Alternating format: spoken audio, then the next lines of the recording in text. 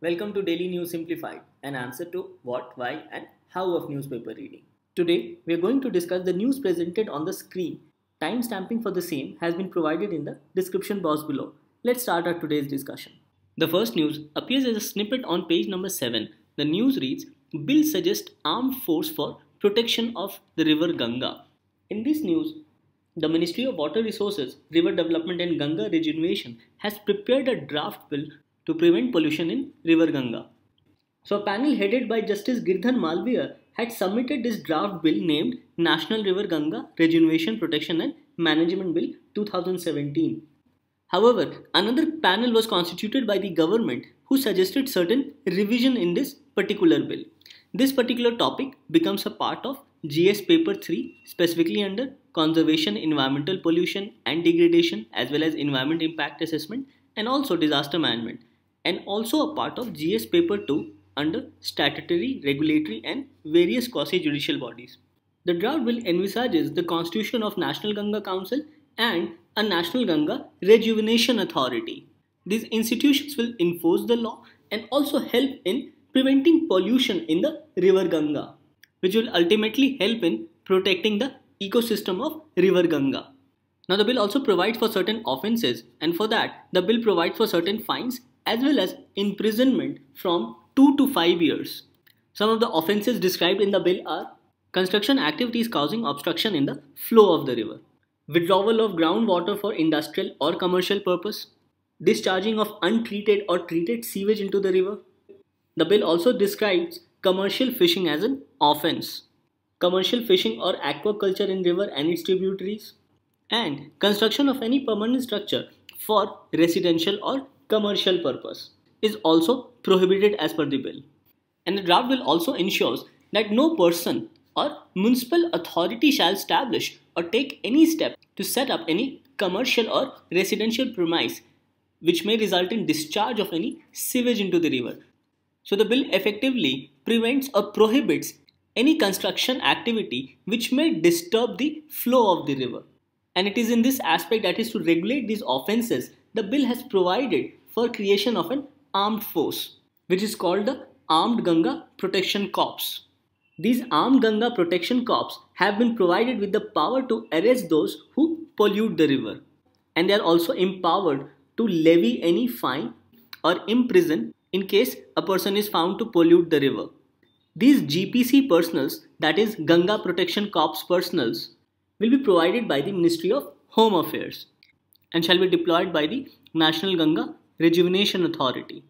So this news on draft bill to prevent pollution in river Ganga by Constitution National Ganga Council as well as National Ganga Rejuvenation Authority and also by deploying Armed Ganga Protection Corps becomes important. Now some questions have been asked previously by UPSC on the river Ganga. Let's go through two questions, one asked in the year 2014 and the one asked in the year 2018. The question asked in the year 2014 was, other than poaching, what are the possible reasons for the decline in population of Ganges River dolphins? The options given were construction of dams and barrages on rivers, increase in population of crocodiles in the rivers, getting trapped in fishing nets accidentally, use of synthetic fertilizers and other agricultural chemicals in crop fields in the vicinity of the rivers. In this question, option 2 was incorrect, rest all the other options that is 1, 3 and 4 were correct. So the correct answer here was C that is 1, 3 and 4. Now another question was asked in the year 2018 on the concept of sand mining in riverbeds. The question read which of the following is are the possible consequences of heavy sand mining in riverbeds. The options were decreased salinity in the river, pollution of groundwater and lowering of the water table. Because of heavy sand mining, there is removal of sand from the riverbed. Now this removal of sand from the riverbed results in increased flow of the river resulting in erosion of river banks.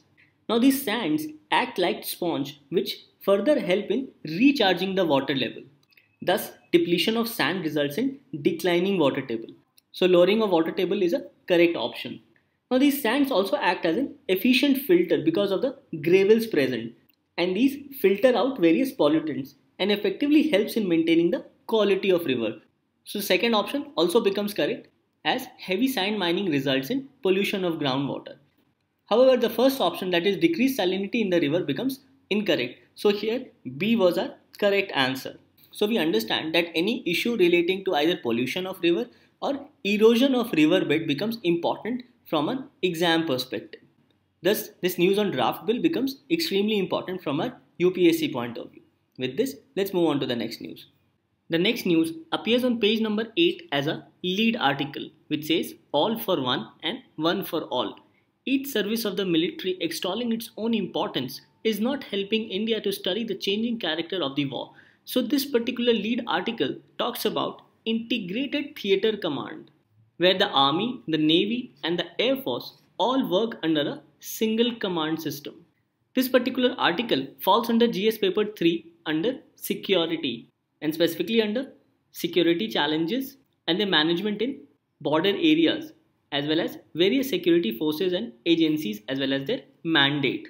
So as per the Kargil committee report as well as the Naresh Chandra committee report, they focused on restructuring of higher defense organization with the intention to improve synergy among different tools of statecraft such as bureaucracy, military, research and development, intelligence, internal security mechanisms, etc. So of these reports, a regular concept that has emerged is of standalone integrated theater command or which is also known as a unified command. So in this aspect, first of all, let us understand about this integrated theater command. Now this integrated theater command, as already mentioned, it envisages a unified command of the three services, mainly Army, Air Force, as well as the Navy. So it envisages a unified command of the three services under a single commander for the geographical theaters that are of security concern. And the commander of such a force will be able to bring all the resources at his disposal that is from army air force as well as the navy. It further states that the integrated theater commander will not be answerable to individual services.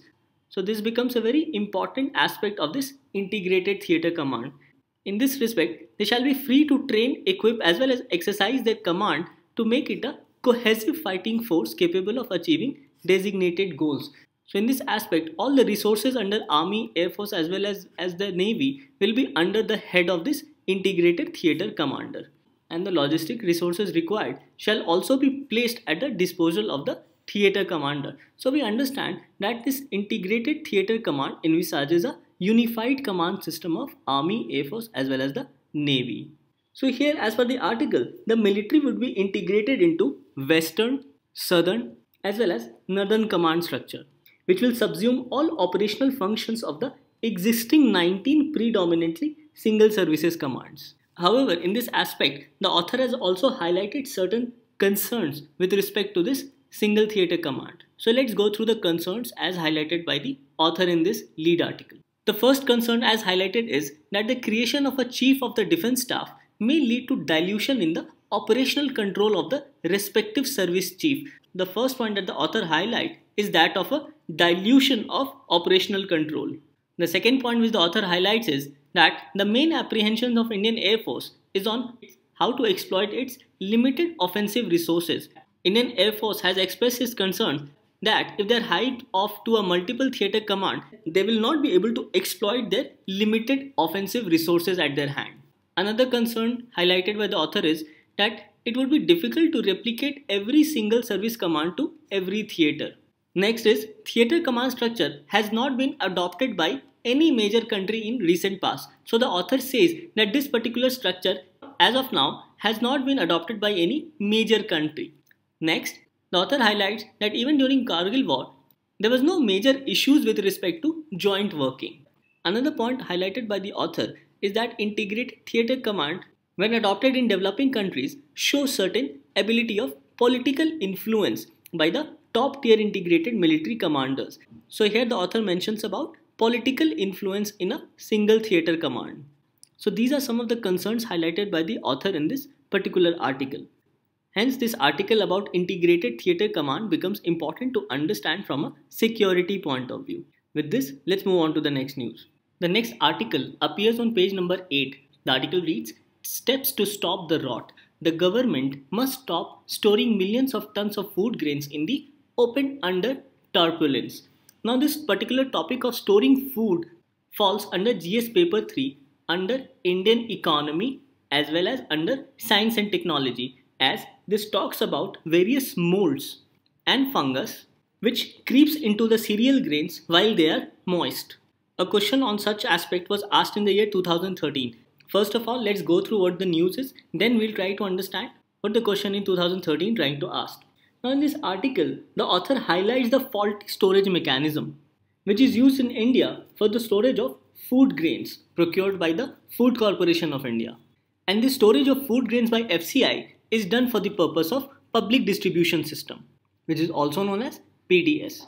The author highlights that developed economies have adopted modern storage techniques. However, India still continues to rely on traditional cover and plinth method, which the author has highlighted as CAP, that is cover and plinth method. Now the author says that this particular method that is cap method leads to wastage of food grains. Further the author highlights that through this method most of the cereals are exposed to air and humidity. This exposure to air and humidity results in development of molds which is very harmful to health. These food grains when processed also contain these molds and if consumed this can have adverse effect on people's health as some of these food grains are processed into other commodities such as flour. So these molds which are found in these processed food grains and other cereals which are exposed to air and humidity contains mycotoxins. So mycotoxins are naturally occurring toxins produced by certain molds or fungus and these can be also found in food. These molds or mycotoxins grow on a variety of different crops and foodstuffs including cereals, nuts, spices, dry fruits, apples, coffee beans, etc. And these molds often develop under warm and humid conditions. These mycotoxins can cause a variety of adverse health effects and also pose a serious health threat to both humans as well as livestock.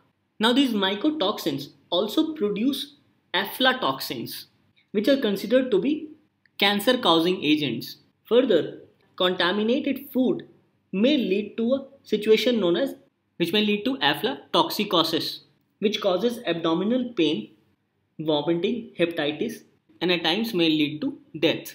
So this mycotoxins and aflatoxins becomes extremely important for us to understand from a exam point of view. Now this particular question was asked in the year 2013 in your prelims examination by the UPSC. It said Improper handling and storage of cereal grains and oil seeds result in the production of toxins known as aflatoxins, which are not generally destroyed by normal cooking process. Aflatoxins are produced by the options were bacteria, protozoa, molds, and virus.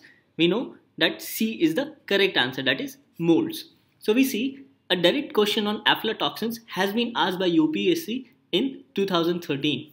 Hence, this article on steps to stop the rot becomes extremely important from an exam perspective. With this, let's move on to the next news. The next news appears on page number 10. The news reads GOM, that is Group of Ministers, takes up report on lynching.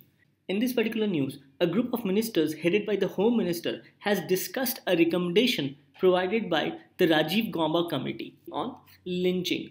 Now, this topic of lynching becomes a part of GS Paper 3 under challenges to internal security through communication networks, role of media, social networking sites in internal security challenges, basics of cybersecurity, etc. Now, this topic becomes important because as you can see, a question was asked in GS paper 3 in the year 2017 itself. The question read, Mob violence is emerging as a serious law and order problem in India. By giving suitable examples, analyze the causes and consequence of such violence. So we understand that the recommendations given by the Rajiv Gauba Committee on lynching becomes extremely important to understand because of late we have witnessed an increase in cases of mass lynching. Now earlier, in the wake of these increased cases of mass lynching, Supreme Court in its judgment had asked the central government to enact a law to deal with incidents of mass lynching. The central government accordingly constituted two high-level committees. One committee was headed by the Home Minister Rajnath Singh, and the other committee was headed by Union Home Secretary Rajiv Gauba. Now, the committee headed by the Home Secretary Rajiv Gauba, one of the recommendations is to make the country head of various social media platform sites accountable and also compel them to act in a time bound manner. And it is in this aspect that the government can even issue FIR against these country heads. That is, First Information Report. In this aspect, the recommendation also states that the government can issue orders to remove objectionable contents from such websites or even block such websites containing objectionable contents. So the group of ministers headed by the Home Minister discussed the recommendations given by the Home Secretary Rajiv Gauba. Another recommendation of the committee is to make extreme stringent laws pertaining to lynchings so as to create a deterrent effect by making suitable amendments in our criminal laws. It is important to note that in regard to cases of lynching, the central government has also issued advisories to state government. In such an advisory, the central government has said that police and public, that is, maintenance of law and order, is a state subject under 7th schedule of the Indian Constitution.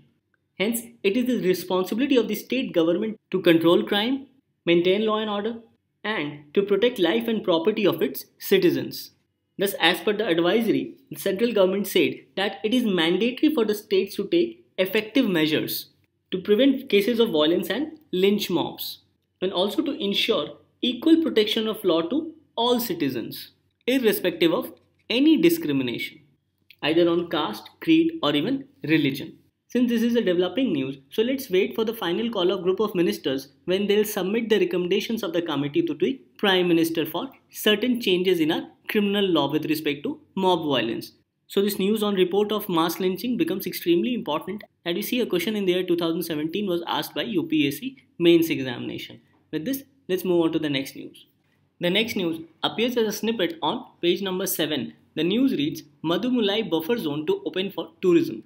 Now this particular news mentions about Mudumalai Tiger Reserve. So let's understand certain basic facts about this Mudumalai Tiger Reserve as questions on these tiger reserves have been asked in the past by UPSC. In your prelims paper, this becomes a part of general issues on environmental ecology as well as biodiversity.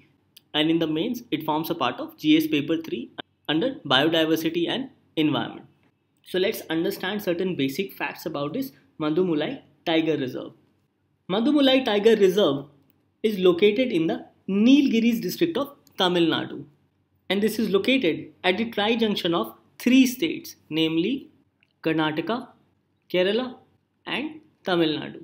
Now this Mudumalai Tiger Reserve plays an important and unique role in forming part of Nilgiris Biosphere Reserve. Now this Mudumalai Tiger Reserve, it is surrounded by Bandipur Tiger Reserve in the north, which is in the state of Karnataka, by Wayanad Wildlife Sanctuary in the west, which is situated in Kerala, by the Nilgiris North Division in the south and east, and by Gudalur Forest Division in the southwest. So these surroundings becomes important as we see that this Mudumalai Tiger Reserve is surrounded by Bandipur in the north, Wayanad Wildlife Sanctuary in the west, Nilgiris North Division in the east as well as in the south, and Gudalur Forest Division in the southwest. Hence, this entire area forms a large conservation landscape for flagship species such as tiger and Asian elephants. Now in this aspect, let us learn about certain important flora and fauna found in this Mudumalai Tiger Reserve. Now this Mudumalai Tiger Reserve has tall grasses which is commonly known as elephant grass. Among important animals, it has tiger, elephant, Indian gaur, panther, sambar, spotted deer, barking deer, common langur, Malabar giant squirrel, wild dog, mongoose, hyena and other animals. Among the imported birds found in this Mudumalai tiger reserves are Malabar grey hornbills, Malabar pied hornbill, Malabar laughing thrush, Malabar whistling thrush. It also has variety of woodpeckers and peacock as well as jungle fowl among other birds. So important facts about this Mudumalai Tiger Reserve in this news is that it is located in the Nilgiris district of Tamil Nadu and it is located at the tri-junction of three states namely Karnataka, Kerala as well as Tamil Nadu.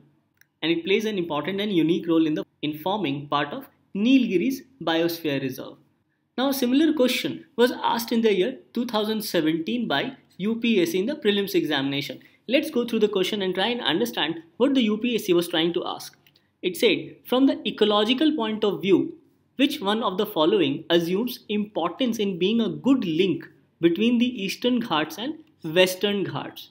Options were Sathyamangalam Tiger Reserve, Nallamalla Forest, Nagarhole National Park, and Seshachalam Biosphere Reserve. In this, the right answer was Sathyamangalam Tiger Reserve. As you can see, that this Sathyamangalam Tiger Reserve is located at the confluence of two distinct geographical regions of biodiversity landscape that is Western Ghat and Eastern Ghat and this was the exact question asked by UPSC in the prelims examination of 2017. So here Sathyamangalam Tiger Reserve become important from our exam perspective. It says that owing to its large contiguous forest and connectivity with adjoining reserve forest divisions, other than tigers, this area has huge congregation of species such as elephant, gaur, blackbuck, leopard, white-backed vulture, hyena, variety of deers, primates, birds, reptiles, amphibians, fishes, and other lower creatures. So in this aspect, this geographical location of Mudumalai Tiger Reserves becomes extremely critical. As you can see, it is surrounded by different tiger reserves, wildlife sanctuaries, as well as forest divisions. And this entire area forms a large conservation landscape for this entire flora and fauna to develop. So in this aspect, this Mudumalai Tiger Reserve becomes extremely important from our exam perspective. With this, let's move on to the next news. The next news appears on page number 11. The news reads, In a first, LCA undergoes mid-air refueling. LCA here refers to the Light Combat Aircraft Tejas. Now this topic of mid-air refueling becomes a part of science and technology under general science in the prelims examination whereas in the mains it forms a part of GS paper 3 under technology, especially science and technology developments and their application and effects in everyday life and achievement of Indians in science and technology, indigenization of technology and developing new technologies. So in this particular news, Indian Air Force has successfully carried out the first ever mid-air refueling of the indigenously built fighter aircraft Tejas Mk-1. And this refueling was done with the help of IL-78 Mk1 tanker. For the purpose of refueling, the IL-78 tanker was launched from its base from Agra, whereas the LCA Tejas Mk1 was launched from Gwalior. Now in this aspect, let us understand some of the importance of this first mid-air refueling.